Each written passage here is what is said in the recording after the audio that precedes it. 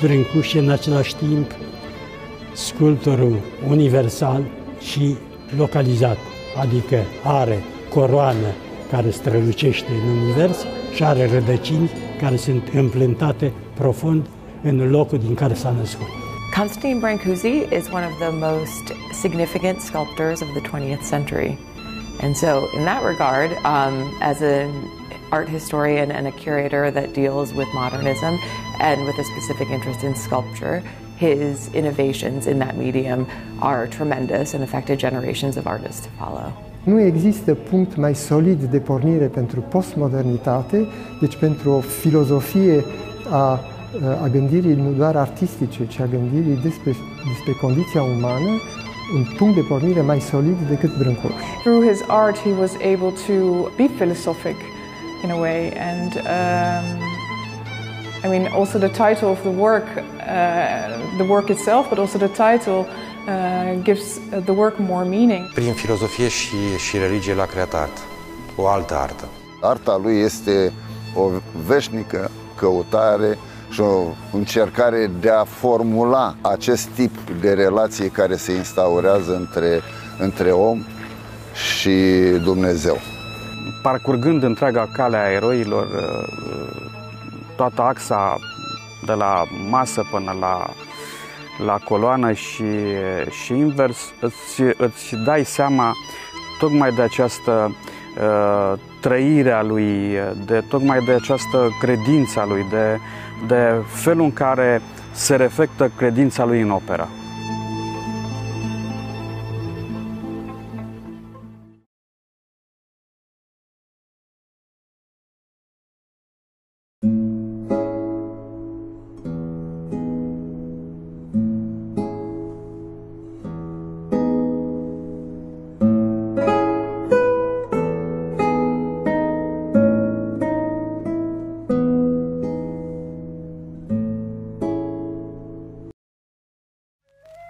Arta cea mai desăvârșită a fost produsă în timpul copilăriei.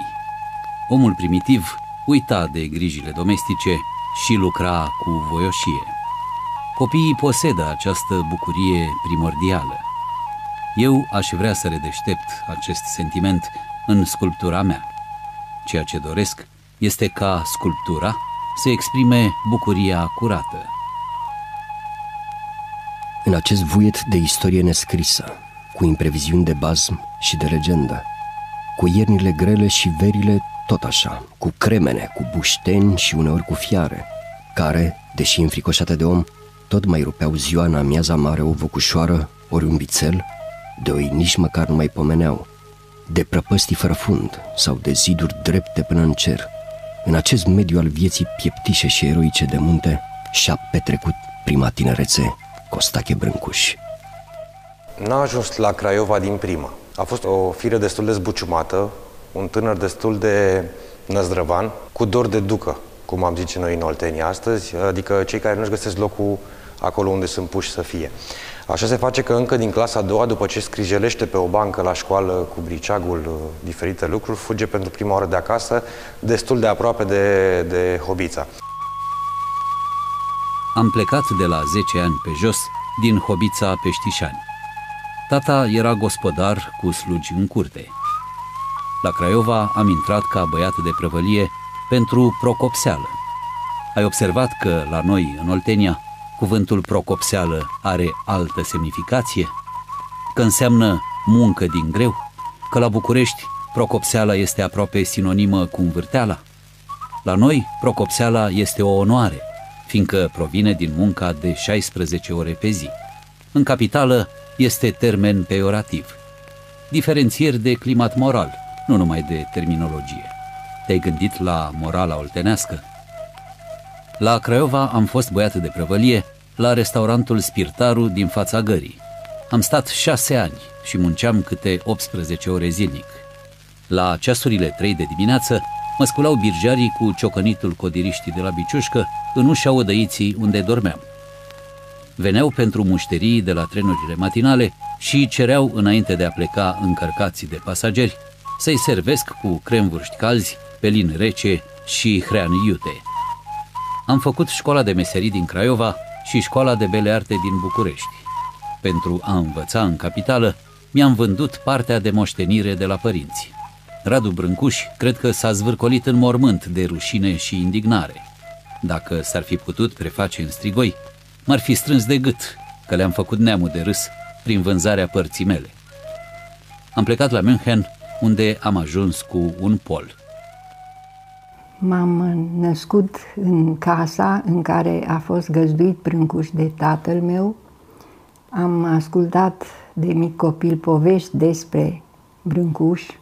Familia noastră e legată de prima manifestare a lui Brâncuș ca proaspăt absolvent de bele arte în 1902, prin bustul pe care l-a făcut bunicului și ultima lucrare importantă în țară, Coloana fără sfârșit, pe care a realizat-o în colaborare cu tatăl meu. Brâncuș era cu șapte ani mai tânăr decât bunicul, erau născuți amândoi în Gorj. Bunicul plecase din Oltenia, din, din Gorj, la 10 ani, murindu-i amândoi părinții. Și s-a străduit să își facă un rost la Craiova, să învețe să muncească și în final a ajuns pe strada Madonna Dudu, o stradă importantă din Craiova, prim vânzător la un magazin de steaua colorată se numea, la care întâmplător avem și o fotografie de epocă și în care Brâncuș a venit în curând la un magazin tot de pe Madonna Dudu din apropiere. Cei doi gorjeni de, cu viață asemănătoare s-au împrietenit. Bunicul a fost într-un fel sfătuitor pentru Brâncuș și l-a găzduit în uh, locuința lui înainte să intre la școala de uh, meserii ca intern. Un lucru despre care s-a scris mai puțin în uh, monografiile destinate lui Constantin Brâncuș este faptul că profesorul de sculptură era un absolvent de bele arte de la Paris, se numea Mihail Burlan.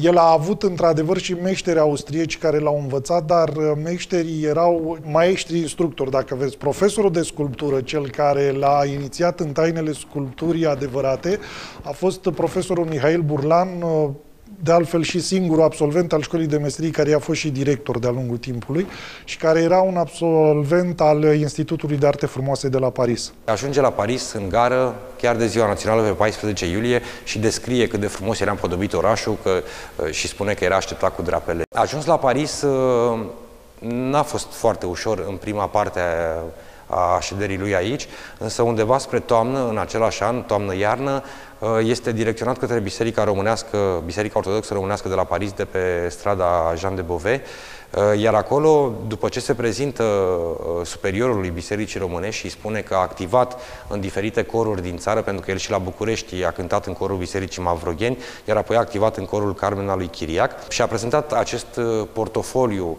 de slujbe pe care le deținuse la diferite biserici din România. Este pus să cânte, a arătat că știe și să ducă slujba de la strană și să, să facă acest serviciu pe care îl fac ipodiaconii și rămâne în uh, acea biserică o perioadă de timp. Există acea singură fotografie cu el îmbrăcat în ipodiacon. Acea fotografie este făcută la Craiova când era ipodiacon la Biserica Madonna Dudu. Era un om foarte cald și primitor. L-am cunoscut printr-o cunoștință comună.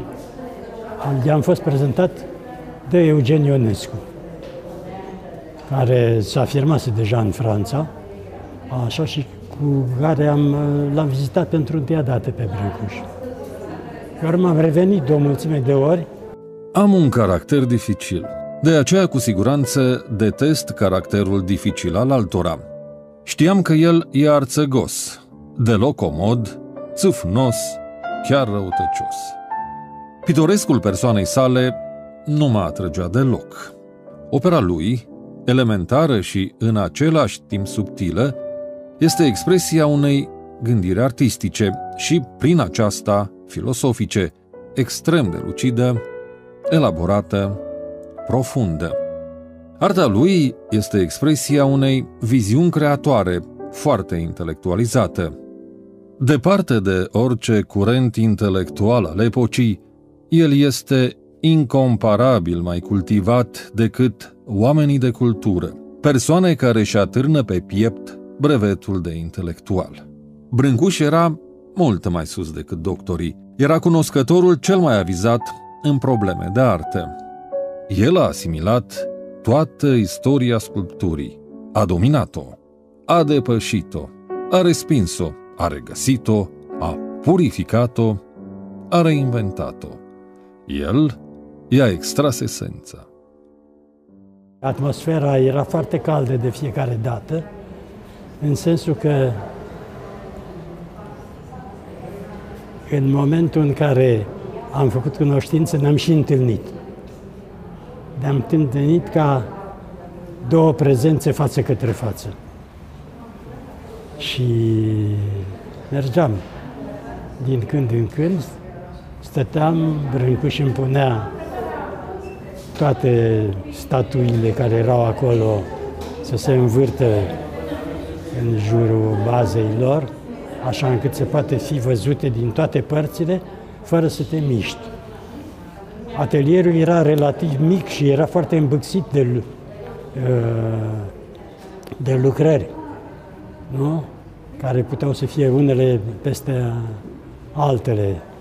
Nu, nu, nu puteai să le, să le vezi ca într-un muzeu în care erau expuse singure și da, era o atmosferă foarte caldă și prietenească. Mi-au plăcut toate, mi-au plăcut toate și imaginea mea e o imagine de ansamblu, o, o amintire a unei atmosfere. Uh, și aș spune că dintre toate, sculptura care răsărea nu, și lumina în jurul ei era făptura lui Brâncuș însuși. Da. Sufletul lui, da. practic. Era, pentru mine, era o figură memorabilă, era și un bărbat foarte frumos, care era atunci când l-am cunoscut, era un bătrân frumos, care se ținea foarte bine, așa, și care răspundea căldură și lumină în jurul lui. Cu această preferință pentru mister și pentru un anume misticism, Brâncuș face totul pentru a apărea ca un mesager taciturn al unei religii, al artei sale. Atelierul unde și-a instalat cu iscusință sculpturile, în mediul cel mai adaptat în concepția lui, pentru a le pune în evidență, a fost conceput ca un adevărat loc de pelerinaj, unde el își programează vizite ca niște reprezentații. După trei decenii, mi-am dat seama câtă dreptate avea Brâncuș când dorea să controleze modul în care îi se prezenta opera. Dincolo de mitul Brâncuș, marele șaman, se afla regizorul vizionar, un artist care știa exact ceea ce dorea și exact ceea ce trebuia făcut pentru a îndeplini această exigență. O bardă, un topor, un joagăr, unelte de lucrat lemnul, un cuptor și o vatră spoită cu var, interior de meșter lemnar, trăind în singurătatea pădurii, cum vor fi fost și vor mai fi atâția în umbra uriașilor codri carpatini. Lipsea doar mirosul fânului și foșnetul frunzișului. Acest interior românesc, dac și predac, pe care Brâncuș îl durase, ca pe o sarmisegetuză sufletească, ale cărei ziduri n-aveau să fie niciodată năruite, face acum parte din tezaurele acestui oraș, alături de sarcofagul faraonilor și de obeliscul din Place de la Concorde. Un țăran din Gorj a făcut pentru țara lui ceea ce pentru alte țări n-au putut face decât regii și împărații. Despre Brâncuș s-au dat toate părerile posibile. Convingerea mea este însă că Brâncuș a beneficiat de un lucru foarte prețios și foarte rar. A crescut în interiorul unui stil extrem de unitar.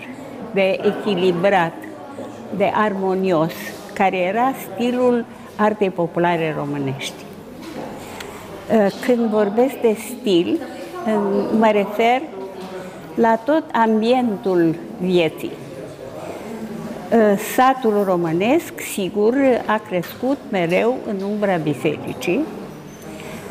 Convingerea că omul este făcut din suflet și trup nu era discutată, era subînțeleasă.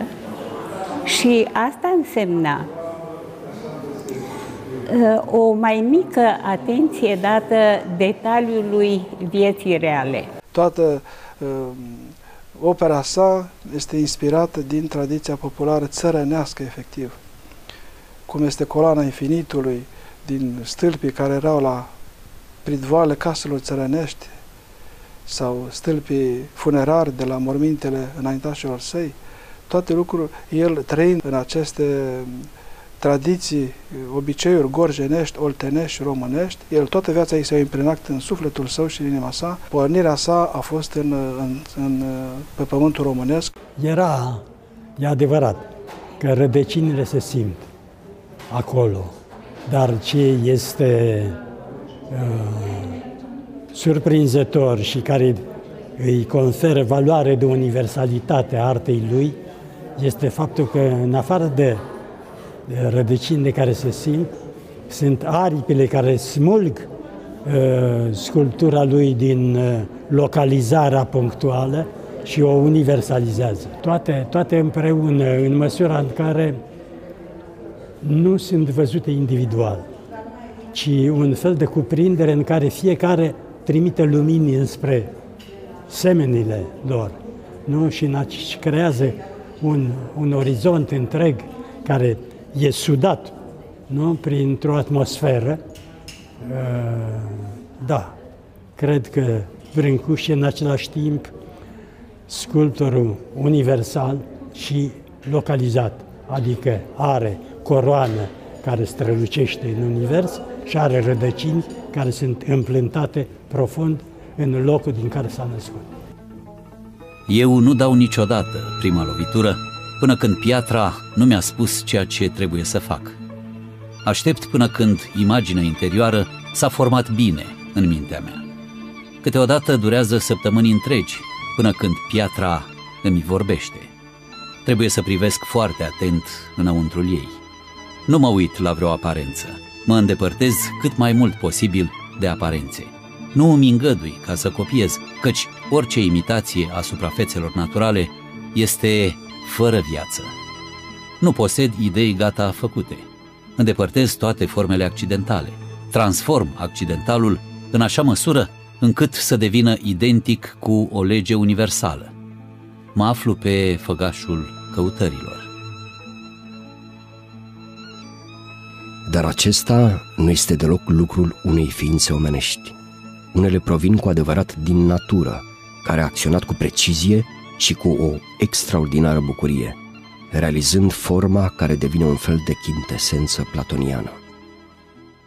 El vine cu un, uh, cu un impuls nou, încercând să depășească ceea ce nu fusese rezolvat de renaștere, iar ceea ce nu fusese rezervat, uh, rezolvat de renaștere erau, ceea ce spunea el, niște răni. Iar misiunea artei era să vindece răni. Iar aceste răni pot fi identificate este zona de inegalități între bărbat și femeie, între diverse etnii, ca să spună că trecem dincolo de ele și putem să facem o artă internațională care să fie receptată fără acrimonii, da? ca fiind parte din, să zicem, una dintre dimensiunile care dau unitate planetară speciei umane. Există o, o ezitare între teoreticienii postmodernității să stabilească cine este cel care a început postmodernitatea, nu ca termen, nu conceptul, ci efectiv ca mesaj. Iar părerea mea este, va putea face obiectul unui simpozion, este că nu există punct mai solid de pornire pentru postmodernitate, deci pentru o filozofie a a gândirii nu doar artistice, ci a gândirii despre, despre condiția umană, un punct de pornire mai solid decât Brâncoș. Pentru că pornește de la o abordare a arhetipurilor fundamentale ale civilizației iudeo-creștine, despre care demonstrează prin operă că nu au fost citite corect, este fabulos. Priveam îndelung sculpturi de ale altora, de ale celor cu talente sigure. Ce mă supără? Frumos sculptate, frumos cizelate, frumos dăltuite și migălos și bine redate detaliile. Aproape nimic de zis. Da, însă nu erau vii. Parcă ar fi fost niște fantome, încremeniri chiar. Am cioplit cândva în tinerețe și eu astfel de sculpturi. Ba chiar le-am expus în cadrul unor saloane artistice.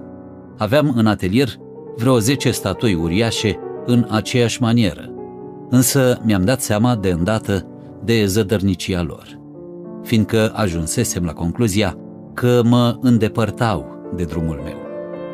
Doresc să creez mișcare și viață, avânt și bucurie curată.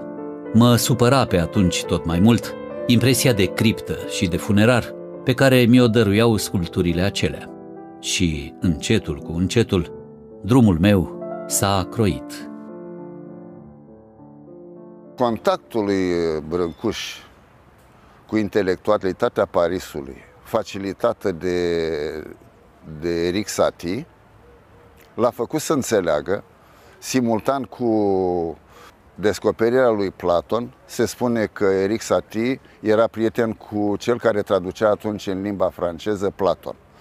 Și se întâlneau în atelierul lui Brâncuș la Paris și se, se discuta, acel traducător discuta cu Satie uh, dificultățile de traducere, analiza termenii, pentru că traducea dintr-o limbă etimologică, cum uh, e limba greacă, Uh, într-o limbă fonetică, cum e limba franceză și cum e și limba română. Și atunci dificultățile de traducere erau foarte mari și el explica complexitatea termenilor uh, platonicieni și atunci asta era o lecție perfectă pentru Brâncuș. Asta a fost primul contact cu Platon și cu și regăsirea puterii ascunse a cuvântului pe care el o, o întâlnise la Hobița în blestem, în uh, descântec, în orație de nuntă, în, uh, în toate ceremoniile uh, satului. S-a înțeles valoarea expresivă și valoarea și intensitatea materialului pe care, cu care plecase el de acasă,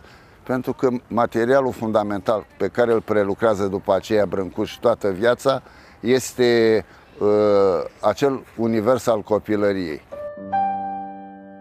La Paris am fost prieten cu Matisse, cu Eric Satie, cu Modigliani și, în special, cu Guillaume Apollinaire, a cărui moarte a fost un dezastru pentru arta modernă. Era un camarad minunat. Te simțeai cot la cot cu el. Am intrat ca elev în atelierul lui Mercier, unde ajunsesem la o mare dexteritate tehnică. Făceam câte o sculptură pe zi, în genul lui Rodin, n-am mai putut trăi în preajma lui, a maestrului Mercier, deși mă iubeam. Făceam ca și el. Îl pastișam inconștient pe Rodin, ca și Mercier, dar vedeam pastișa. Eram nenorocit. Au fost anii cei mai grei, anii căutărilor, anii de regăsire a unui drum propriu. Am plecat de la Mercier. L-am supărat, dar trebuia să-mi caut calea mea am ajuns la simplitate, la pace și bucurie din dificultăți intime. Simplitatea este profundă în esența ei. Dacă privim în arta occidentală, acele, um, să spunem, stiluri care te, te copleșesc, te zdrobesc, te zdrobesc de, de infinitatea ornamentațiilor și lucrurilor care nu, nu, nu te duc cu gândul spre divin, ci te copleșesc pur și simplu. Te, te zdrobesc. Pe câtă vreme această simplitate, parcă din potrivă te gândești cât mai mult la Dumnezeu. Deci toate operele Mlăcuș sunt foarte simple. Că este ou, că este pasărea măiastă, că este stâlpul, că diferit el uh, aceste lucruri simple le-a, le prelucrat foarte mult. Through his art he was able to be philosophic in a way and um, I mean, also the title of the work, uh, the work itself, but also the title uh, gives the work more meaning. So I think I believe it doesn't, it has to be combined, those two. Why he looked at uh, materials of, in a very different way because of his way of thinking, and I think that is the reason why he was able to create abstract art or uh, simplify forms. And I think without being philosophic or spiritual or whatever you want to call it, you would not be able to um, make an object like this. So, yeah, um, I think materialism is very important, but you can only uh, create something if you have the right mindset, I think, and to be a pioneer in, uh, in this way. Brâncuș, ca și uh, tot uh, ambientul, ca și toți uh, țăranii din jurul lui, care locuiau în case cioplite din lemn, aveau linguri cioplite, aveau farfurii din ceramică făcute tot de mâna lor și costume cusute de țărânci, acești oameni care locuiau un ansamblu de, de forme care toate, de fapt, reprezentau o meditație asupra lumii. Uh, reprezentau un fel de, dacă vreți, de exercițiu de depărtare de realitatea imediată, de floricică sau de gâză, uh, și o contemplare a armoniei universale. Asta înseamnă o atenție pentru forme pe care noi astăzi le denumim abstracte, uh, pentru formele geometrice care între ele au raporturi și proporții fericite și care, de fapt, uh, această meditație asupra legilor generale ale creației uh, au constituit punctul de vedere al artei pe care noi astăzi o numim bizantină, de fapt a artei creștine din primele secole. Ceea ce este obiectul bucuriei uh, imaginii pe care o creează țăranul, este, aș spune, această contemplare a unei uh, uh, armonii geometrice a Universului, a unei armonii spirituale, nu materiale. Istoria noastră este practic o construcție virtuală deasupra columnei lui Traian. De acolo începe, de la moartea lui Decebal și de la colonizarea, atât cât a fost ea colonizată Dacia, de acolo începe istoria noastră și pe această coloană a existat această înfiorare creștină, că tot atunci s-a produs creștinarea noastră, exact în, acelea, în aceleași momente. Și, prin urmare, această columnă este consubstanțială cu înfiorarea creștină pe care am dobândit-o atunci. Există o mistică, după părerea mea, în istoria noastră și această mistică a fost purtată cu smerenie, cu modestie de către acest popor și de către instituția care a centrat acest popor, care este într-adevăr biserica și credința.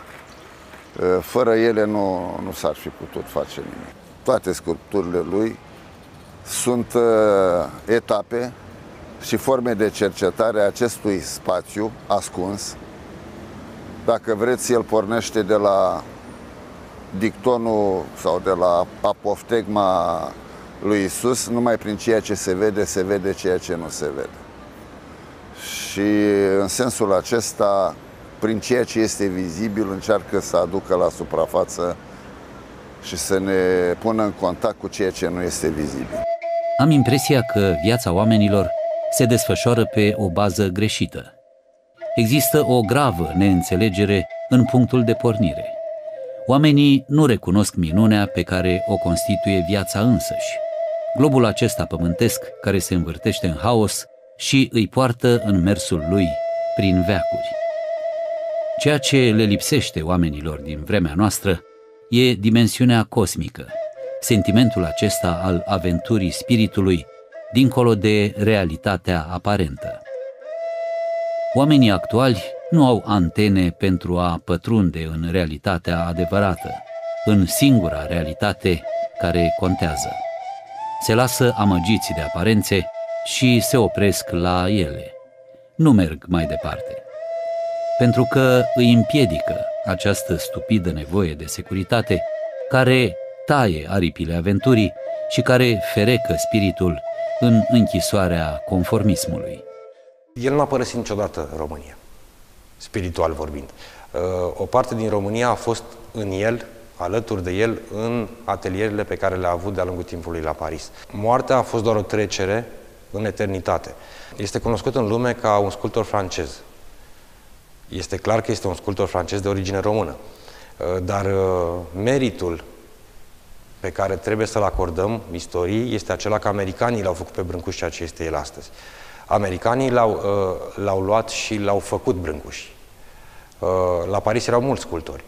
El însă a fost cel care a excelat, a fost cel care și-a impregnat și a pus acea amprentă de, de prinț țăran cu mistica ortodoxă pe care o, o trăia, o simțea, o, o practica și a făcut ca, ca marile expoziții ale Statelor Unite ale Americii să-i primească și să-i găzduiască din ce în ce mai multe, mai multe lucrări, făcându-l cunoscut ast, astfel în, în întreaga lume.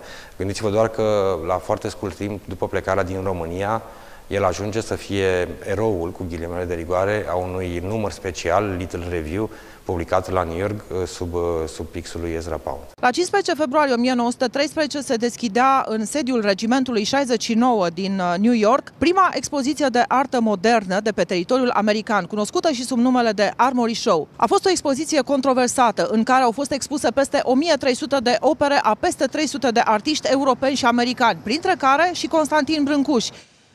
Cinci opere ale lui Constantin Brâncuș au fost expuse aici și mai apoi vândute. Armory Show was absolutely um, significant in establishing his relationship to the United States and um, of course along with Marcel Duchamp um, and then of course the 1927 um, trial brought him additional attention. I think, I mean, you know, I would I would venture to guess that what he meant without America, this wouldn't be possible, was um, the fact that his earliest supporters, by that I mean his earliest patrons and his earliest collectors, were Americans. They collected. There's a man named John Quinn who um, acquired Brancusi early on and acquired his work. Um, en masse, you could say. He really owned a tremendous um, amount of sculpture. And this these sales, you can say, I think allowed him to keep making work. It allowed, sustained him, allowed him to um, continue to innovate, continue to make work in Paris. The trial was significant in so many ways because not, not only in terms of Brancusi, but of course in the kind of broader context of modern art and modernism at the time. You know, one of the issues that was um, at the center of the case was the very definition of sculpture. In the United States, sculpture had to be representational. It had to look like the thing that it was purported to represent. So if you wanted a bird, it better look like a bird. Brancusi's bird didn't exactly look like a bird, but instead evoked a bird. And I think those were the issues that were um, contested and debated vigorously in court by artists, by historians, by critics, and in that case, his the ramifications of the verdict, which was of course in favor of Brancusi, um, had tremendous impact on modernism at large. Am fost sincer impresionată când am văzut lacrimi pe obrazul lui Brâncuș. Brâncuș era un minunat omuleț cu barbă, cu ochi profunzi, străpungători. O combinație de țăran și ret și de geniu. Făcea totul ca să fii fericit lângă el. Era un privilegiu în a-l cunoaște. Fără american nu aș fi putut realiza toate acestea, declara Constantin Brâncuș într-un articol uh, al ziarului New York Times în 1955. Este anul în care Muzeul Solomon Guggenheim îi dedică o expoziție retrospectivă. Este prima expoziție retrospectivă dedicată lui Constantin Brâncuș. Nici țara sa natală și nici țara adoptivă, Franța, nu a organizat asemenea expoziții până atunci. În Franța, prima expoziție retrospectivă Constantin Brâncuș este organizată în 1967 la la 10 ani de la moartea artistului. Brâncuș a fost și a rămas un țăran din Gorj, un țăran oltean, un țăran român. Asta cred că a fost și asta rămâne.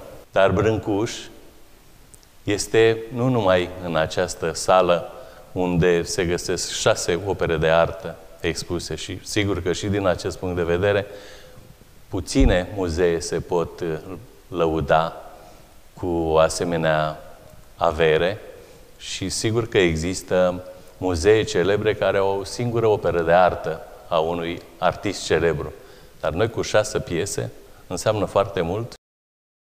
The Kröller-Müller Museum acquired Le Commencement du Monde first in 1995 and uh, in 1999 there was another opportunity to buy another work by Brancusi and um, and that's this specific piece uh, and again our director uh, at the time uh, thought that would be the opportunity uh, to buy another work uh, of this uh, important artist, um, but also uh, that could show the development also in the art of Brancusi and the way he, he tried to um, uh, simplify forms. And um, so uh, this was uh, for sale in uh, New York. And by um, funding, uh, the museum was uh, able to acquire it.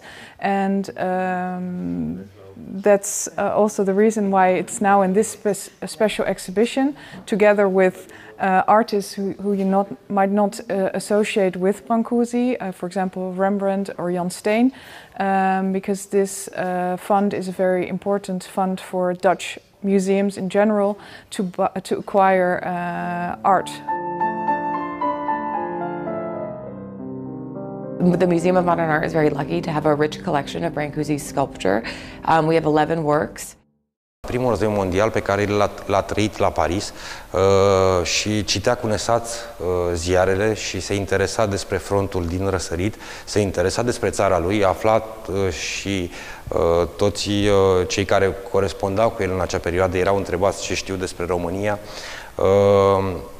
Uh, el n-a părăsit Parisul în, în, în primul război mondial. La contextul istoric era destul de tulbure pentru el, pentru că în vestul Europei amenințarea Germaniei naziste era mult mai pregnant, se simțea mult mai, poate de aceea și simțea în aer mirosul de praf de pușcă, pentru că Germania deja se afla în coasta, în coasta Franței. Pentru el România a fost și va rămâne, sau a rămas până la, la sfârșitul vieții, atunci când a trecut în eternitate, țara care l-a creat ca om. Uh, s-a născut la Hobița, la Craiova s-a născut a doua oară uh, și nu a uitat niciodată Oltenia natală. Este locul unde familia lui și-l dorea ca preot în sat sau mama lui visa chiar să ajungă protopop la Târgu Jiu. A păstrat aceste uh, sentimente spirituale legate de țara lui, uh, lucru care se vede în ansamblu monumental de la Târgu Jiu, pentru că sunt impregnate de credințele populare românești, uh, de tradiție ortodoxă. Brâncuș, care a pus în evidență foarte mult această glorie a poporului român, respectiv unirea cea mare din 1918. El, așa cum se cunoaște, a făcut uh, realizarea sa complexă, o axa brâncușeană de la Târgu Jiu, în memoria acelor uh, eroi care au căzut, au căzut în primul război mondial pe această vale a Jiului, în Târgu Jiu, rude de ale lui, cunoscuți de lui. Acest spațiu este dedicat eroilor pașnici, pentru că nu trebuie să uităm că la Târgu Jiu în bătălia de la Târgu Jiu au luptat eroii pașnici, populația civilă. E o bătălie despre care vorbește și istoria lui Chirițescu și foarte mulți dintre istorii și dintre analiști o consideră foarte importantă, nu prin dimensiuni, ci prin consecințe, pentru că întârzierea pe care a provocat-o această bătălie în înaintarea trupelor germane, practic a salvat armata română care era pe punctul de a fi încercuită și e de fapt armata cu care s-a luptat la Mărășești și la Oituz. Altfel, armata română ar fi fost încercuită și, evident, toate lucrurile și toate evenimentele s-ar fi derulat cu totul și cu totul în alte condiții. Liga Națională a Femeilor Gorjene a hotărât să dăruiască orașului o coloană și un portal de piatră, opere ale marelui sculptor Brâncuș, Dorința Ligei este ca donațiunea să aibă următoarea destinație. Crearea unei străzi care va purta numele Calea Eroilor, cale care va porni din preajma Jiului, trecând prin grădina publică, pentru a merge până la actualele cazărmi. La începutul acestei căi se va așeza portalul, iar pe promotorul ei lângă cazărmi se va ridica coloana recunoștinței. Legându-se astfel amintirea locurilor pentru care au luptat eroii gorgeni, cu ideea recunoștinței fără de sfârșit, simbolizată prin coloană. Este însă bine de reținut pentru toată lumea că mai mult decât oricât reprezintă pentru Gorjeni și pentru Aretia Tătărescu uh, contribuția ei la inaugurarea acestei uh, căi a eroilor. Liga Națională a Femeilor Române din Gorj a contribuit uh, financiar, a contribuit prin implicarea altor factori, chiar politici, mă refer la prefectură, mă refer la guvern, la primărie, în realizarea lor. Uh, Milița Pătrascu este cea care realizează uh, sarcofagul uh, unde sunt înhumate rămășițele pământești ale eroinei de la Jiu. Într-adevăr, este una din elevele sale. Ea a fost contactată inițial de către Aretia Tătărescu și a declinat însă această sarcină și a spus din start că mult mai indicat este maestrul Uh, sculpturii universale, este vorba de Constantin Brâncuș. Uh, extrem de interesant, uh, Constantin Brâncuș, care dorea să vină acasă, nu mai venise de prin 1930, de, deci câțiva ani buni, a acceptat, a venit în mai multe rânduri aici, a stat aici, Uh, deși nu era implicat în politică în niciun fel și nici nu prea îi plăcea politica, s-a înțeles suficient de bine cu Gheorghe Tătărescu, conversau uh, ore în șir împreună, a fost adăpostit uh, și aici în casa uh, Gănescu o vreme, a făcut uh, tot felul de planuri, la un moment dat a renunțat la unele și a realizat altele. Cert este că a gândit foarte mult și cu mare atenție ceea ce lasă orașului său. Au fost foarte multe încercări de decodificare a ansamblului, dată fiind aura pe care o are de capodoperă.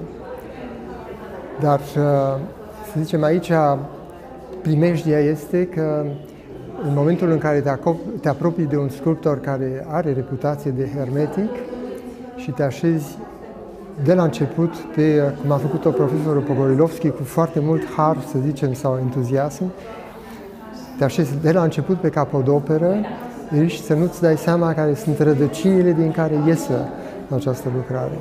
Sunt două mari abordări în lume pe zona grâncușiană. Una este cea dominată de americani și care vede în uh, obiectul de artă brâncușian un uh, obiect în esențialitatea sa, o încercare de a depăși uh, zgura de care vorbea la un moment dat Henry Moore, adică conotațiile simbolice și așa mai departe, încercarea de a, de a găsi în ce măsură acest obiect în esențialitatea sa vorbește unei societăți în care Uh, suntem o civilizație nu doar a imaginii, o civilizație a obiectului și poate că undeva este necesar să avem niște efigii ale obiectului în puritatea lor, uh, independente de orice uh, funcționalism sau de utilitarism.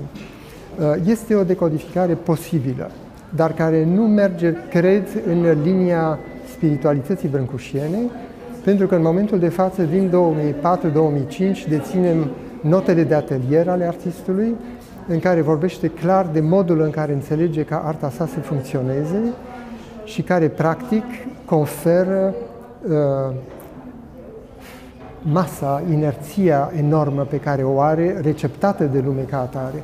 Adică nu sunt niște obiecte care funcționează uh, autonom, ci este vorba despre un complex de opere care articulează un mesaj.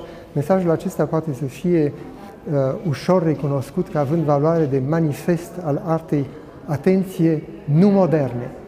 El este clasificat în momentul de față ca fiind fondator al sculpturii moderne și aici ne joacă o feste, dacă pot spune așa, o paronimie acceptată în istoria artei între modernitatea renascentistă, Michelangelo este un modern, și modernitatea de secol 20, care se proclamă tot o continuare, mă rog, o dezvoltare a filiației inițiale.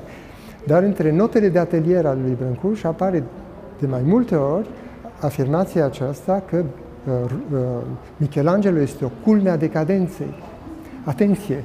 Este o, este o, uh, o declarație de o supremă cutezanță, dată fiind uh, uh empatia extraordinară pe care o, o, o provoacă orice, orice lucrare de, de Michelangelo. La Târgu Jiu a venit să realizeze o coloană infinită, dedicată memoriei eroilor, așa cum în perioada medievală se punea pe mormântul voievozilor câte o coloană de forma stâlpului țărănesc al casei românești.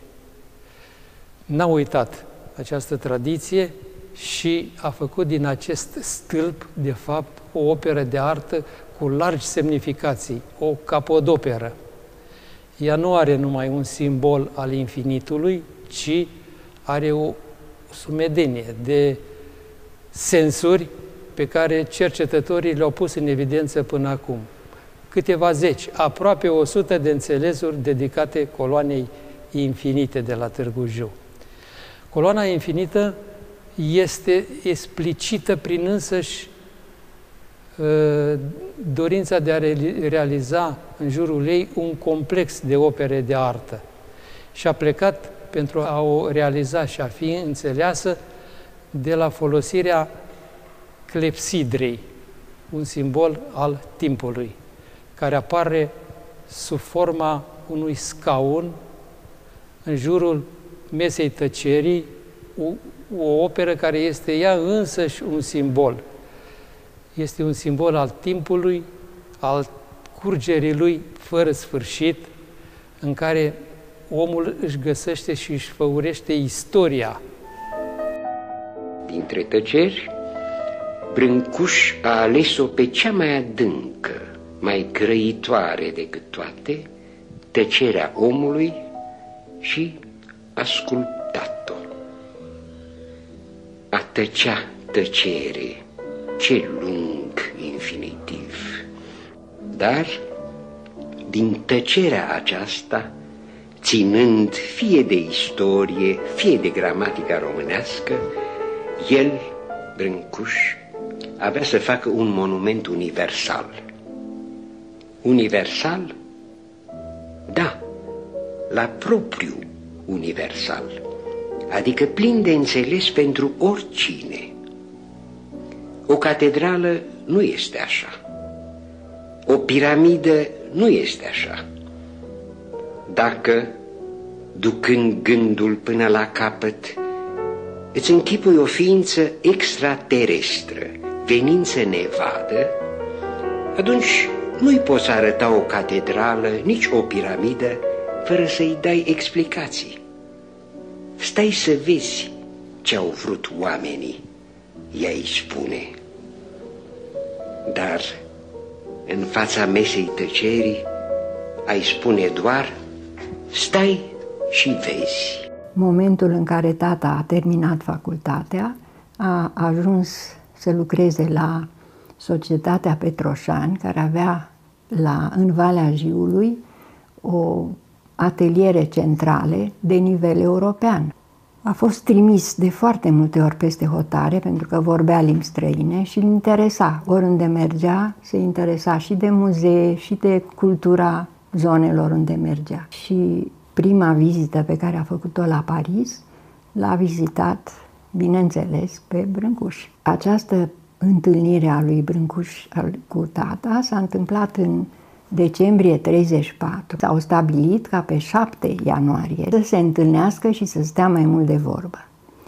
Cu această ocazie, tata a stat mult de taclale cu Brâncuș, a primit în dar un catalog Brammer din 26, care este unicat în țară, cu dedicație de la Brâncuș și cu data 7 ianuarie 35. Deci este o dată importantă pentru că marchează momentul în care s-a stabilit ideea colaborării.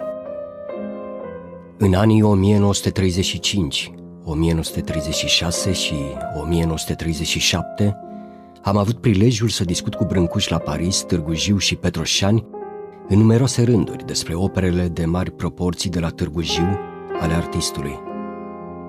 După cum se afirmă, nimeni nu l-ar fi auzit pe Brâncuș dându-i vreun nume. Aduc aici o mărturie autentică. L-am auzit de mai multe ori pe Brâncuș spunându-i masa flămânzilor și niciodată altfel – Prima oară i-a spus așa în 1938, când am parcurs împreună cu artistul drumul de la Jiu până la Coloana. Ne-am oprit la masă și ne-am așezat, fiecare pe câte un scaun de piatră. Hai să stăm la masa flămânzilor, mi-a spus Brâncuș. În concepția lui, aceasta era masa țărănească, masa tradițional rotundă, în jurul căreia se adunau ai casei, care, la fel de osteniți de muncă, sunt la fel de înfometați. În jurul acestei mese se întrunesc plugarii, veniți de la munca trudnică a câmpului, sau porniți pe petrecere, la sărbătorile familiei, la praznice sau nunți. Totuși, asupra distanței dintre scaune și masă, există și azi controverse încă nerezolvate.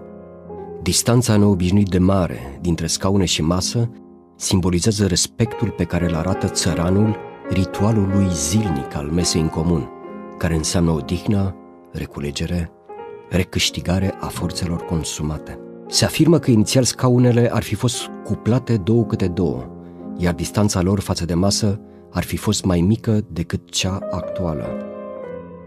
În ceea ce mă privește, atât cât îmi pot aminti, le-am văzut în 1938 repartizate egal în jurul mesei și la distanță neobișnuit de mare față de aceasta, adică la fel cum se găsesc scaunele și astăzi. Pe poartă este reprezentat din nou cosmic, dar de data asta reunit, pentru că întâlnirea dintre masculin și feminin nu face decât să readucă și să reîntregească în formă simbolică uh, matricea inițială. Nu este numai sărutul nupțial, este și sărutul de despărțire a nuntașilor, pentru că ei pleacă din raiul casei părintești și deschid, devin un alt nucleu cosmic. Și, prin urmare, se despart de raiul casei părintești și primesc sărutul de, de binecuvântare. Și poarta este trecerea din adolescență către maturitate și se împlinesc în felul ăsta. Dar eroul renunță la acest destin împlinitor și dintr-o vocație mesianică în situația în care comunitatea din care provine intră în criză, eroul pleacă la răsărit precum Gilgamesh, precum Sfântul Gheorghe și se luptă cu întunericul, cu agresorul, își apără comunitatea. Coloana este, poate fi prima rază de soare, așa cum este obeliscul egiptean, la care știm că Brâncuș, înainte de a veni aici, venind din India, s-a dus în Egipt. Și este prima rază de soare, este lancea Sfântului Gheorghe, este și ragul de mătănii, pentru că odată răsărind soarele, are loc prima rugăciune, deci prima invocație către divinitate.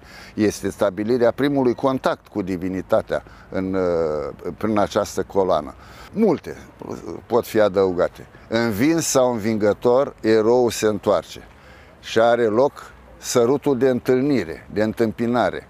Dacă e învins, este omagiat și aceste scaune sunt formele de omagiere a eroului întors, iar dacă nu e viu, ă, sunt pragurile, ultimul prânz inițiatic, trecere peste apă, către munți, în tărâmul dreptilor. Preocuparea oamenilor după ce cineva drag din, din apropiații lor se, se muta, pleca din această lume, îi punea ceva pe mormânt. Alții, din cel mai vechi timp, îl puneau inclusiv în mormânt, dar cert este că deasupra mormântului cam toate religiile lumii puneau ceva. Puneau o lespede de piatră, puneau o piatră sau pur și simplu puneau un stâlp. Cum să o continue stâlpul acesta, mai ales în zona noastră românească, stâlpul, în primul rând de lemn, că era foarte multă vegetație și era la îndemână oricui și nu erau cine, uh, să spunem așa, să fie sculptor în piatră sau meseria de piatră, nu era la îndemână oricui, ci numai țele uh, civilizate și țele care aveau o tradiție, pe câte vreme poporul românesc avea foarte mult tradiția în lemn, era la îndemână totdeauna și se punea un stâlp la la capul mortului, imediat cum se îngropa. Până în ziua de astăzi este tradiția aceasta. Când se îngroapă omul, nu se pune crucea neapărat, mai ales când se îngroapă în mormânt, în pământ direct, nu poți să pui crucea de piatră sau de marmură eh, și se pune peste un an de zile până și așează pământul și se punea un stâlp. Și stâlpul acela lăsa și după aceea, chiar și când punea crucea, se vede până ziua de astăzi la morminte, se vede crucea și și acest stâlp funerar. Nu în toate localitățile. Acei, sigur, variază de la o localitate la alta tradiția aceasta cu stâlpii funerari. Cert este că stâlpul acesta uh, este o, să spunem așa, o ascensiune a omului spre divin. Uh, omul, în limba greacă veche, se duce antropos. Antropos, adică cel ce privește în sus. Verticalitatea ființei umane, care trebuie să se intersecteze cu divinul. Și atunci stâlpul acesta este o, o predispoziție a omului, o dorință, un dor al său spre, spre divin. Și această verticalitate a stâlpului simbolizează pe de o parte veșnicia omului. Chiar uh, mi-aduc aminte, în zona Gorjului aceasta lui Brâncuș, mai există unele tradiții de a se pune la morminte brazi. Spre exemplu, în zona de șes a Gorjului se puneau brazi când murea un fecior sau o fecioară tânăr sau tânăr necăsătoriți. În zona montana a Gorjului, de sub Carpatică, se pun la toți morți, se pun câte un stâlp, câte un brad, care are bradul, simbolizează veșnicia, verdele acesta care simbolizează veșnicia. Deci, iată, Brâncuș totdeauna, adică tradiția noastră românească era legătura permanentă omului cu divinul și el și-o manifesta prin această simplitate a unui stâlp. Nu contest că Brâncuș va fi folosit cândva denumirea de coloana pomenirii fără de sfârșit. Eu însă nu l-am auzit niciodată spunându-i așa. În convorbirile noastre zilnice, cuvântul coloană se repetea de zeci de ori, fiind principala noastră preocupare în acea epocă. De cele mai multe ori, Brâncuș spunea numai coloana, fără vreun adjectiv, însă titulatura întreagă pe care a folosit-o de nenumărate ori a fost coloana infinită. Chiar dacă ideea conducătoare a ansamblului statuar de la Târgu Jiu a fost recunoștința fără de sfârșit sau pomenirea, coloana lui Brâncuș nu simbolizează recunoștința fără de sfârșit sau pomenirea fără de sfârșit ci este expresia plastică a infinitului pur și simplu detașat de orice atribut. Căutările formei, caracteristice geniului lui Brâncuș, l-au adus la acele soluții definitive, intrate azi în patrimoniul artei universale, care se numesc pasăre în spațiu sau coloana infinită. Coloana infinită de la Târgu Jiu, formată din elemente armonice, ale căror dimensiuni și al căror număr au fost stabilite după lungi dezbateri și căutări, nu reprezintă o simplă replică a coloanei infinite de interior. Ea rămâne o individualitate proprie, adecvată spațiului larg, dar rămâne totuși coloana infinită, simbolul nesfârșitului în sine, un simbol quasi matematic al esteticii noi. E adevărat că ceea ce am bucuria să fac, fiindcă trebuie să subliniez, este o bucurie imensă, pe care mi-o dăruiește lumina, așa cum lumina ne ajută să ne bucurăm de suprafață, de formă, după cum ați spus și după cum toată lumea știe. Tot lumina îmi dă voie să interoghez obiecte. Este purtătoarea de informație. Este călăuza pe care un cercetător în optoelectronică știe să o trimite către suprafață și către obiect. Să ne uităm către porta sărâtului, de exemplu, atât de cunoscută, unde natura materialului atât de, de vie, de schimbătoare, cu, cu ochiuri de oxizi, aș putea spune, natural, din, din uh, tipul pietrei, ne atrage privirea diferit, probabil, de la deceniu la deceniu. La coloană, prin natura materialului, este o coloană uh, din metal, poate că jocul și dinamica apare din, uh, și dintr-o patină care uh, invariabil se generează în timp, dar apare cu o frumusețe a diferențelor de lumină. O suprafață care se uh, devine mai abrazivă ușor cu timp, o suprafață care își capătă o patină, strălucește, reflectă diferit, are o dinamică a imaginii. O vedem într-un fel atunci când are 10 ani, 20, 50. Să vedem contextul uh, politic uh, existent la momentul respectiv. Dacă ne amintim foarte bine, Anschlussul deja se realizase, mă refer la anexarea Austriei de către Germania, și mai era foarte puțin, peste uh, mai puțin de un an uh, Germania ataca uh, Polonia. Deci Constantin Brâncuș avea mare dreptate. Apoi susținătorul cel mai important al acestui ansamblu de la Târgu Jiu, mă refer la omul politic liberal Gheorghe Tătărescu, nu mai era la guvernare, guvernarea sa se terminase, era trimis în Franța ca ambasador al nostru, trăiam la vremea respectivă într-o perioadă de mari prefaceri, în, uh, cu câteva luni mai în urmă preluase puterea în mod autoritar, să nu-i spunem dictatorial, Carol al II-lea, se terminau partidele politice, sindicatele, se construia Frontul Renaștere Naționale, o singură organizație politică în această țară. Deci, iată, sunt prefaceri extrem de importante care se derulează paralel cu ceea ce se întâmpla la Târgu Jiu. V-aș mai face o precizare. Chiar la foarte puțin timp după inaugurarea ansamblului de aici, de la Târgu Jiu, a început colectă pentru un alt monument al eroilor, considerându-se că acesta nu este cel mai indicat să fie promovat într-o asemenea înfățișare. El nu fusese terminat una dintre nemulțumirile lui, lui Constantin Brâncuș. Iată deci că este o situație complex atunci în octombrie 1938, ceea ce nu i-a împiedicat însă pe edilii de aici să organizeze o manifestare uh, mai degrabă locală, intenționa să vină și Carol al II-lea și nu a mai venit, uh, care uh, a atras o mulțime de participanți, deși vremea nu era deloc favorabilă. Spre marea iritare a lui Brâncuș, Oficialitățile cu concepții utilitariste au spart cu topoarele scaunele în formă de cerc din zăvoiul de la Târgu Jiu, cu scopul de a le dubla numărul. Această mutilare a proporțiilor era în detrimentul funcțiunilor, care era de a servi ca scaune în jurul mesei. Anumite publicații eh, centrale eh, au spus la vremea respectivă că s-ar fi cheltuit eh, foarte mult în condițiile în care Târgu Jiul era un oraș sărac, căruia îi uh, lipseau uh, uh, multe și nu ar fi, ar fi avut nevoie de o asemenea cheltuială. Intră Constantin Brâncuș în acel con de umbră aflat în spatele sloganului artă decadentă, așa cum știți, el a fost taxat în acest sens de-a lungul anilor, lucru care îl supără foarte tare. S-au făcut nu neapărat presiuni, cât uh, a fost rugat uh, să revină acasă și nu a mai uh, dorit lucrul acesta. Ba la un moment dat s-a întâmplat ceea ce cunoașteți cu toții, niște activiști așa mai zeloși ai Partidului Muncitorez Român și ai Uniunii Tineretului Muncitor au încercat să distrugă simbolul cel mai important al axei, mă refer la coloana recunoștinței fără sfârșit, la coloana, coloana infinitului, uh, nu au reușit, uh, din fericire, să smulgă uh, acest impresionant moment.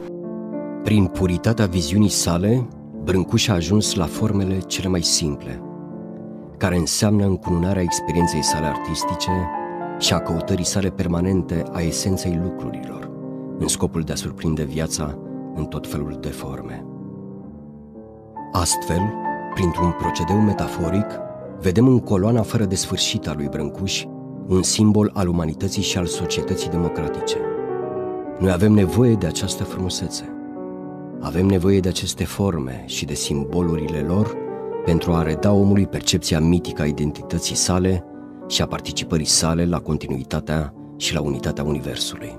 Credința profundă a lui Brâncuș este reflectată în opera indiscutabil. Brâncuș era un, uh, uh, nu știu dacă aș putea, cred că este prea mult spus mistic, dar era un om credincios și cred că a înțeles uh, cred, religia în acest sens al credinței și nu neapărat ca, știu eu, o simplă reflectare a divinității, a divinului. Tocmai de asta, parcurgând întreaga cale a eroilor, toată axa de la masă până la coloană și invers, îți dai seama tocmai de această trăire a lui, de tocmai de această credință a lui, de felul în care se reflectă credința lui în opera. Este, dacă vreți, un, un mod de a povesti uh, despre viață și despre moarte în același timp a lui Brâncuș. Și este o poveste.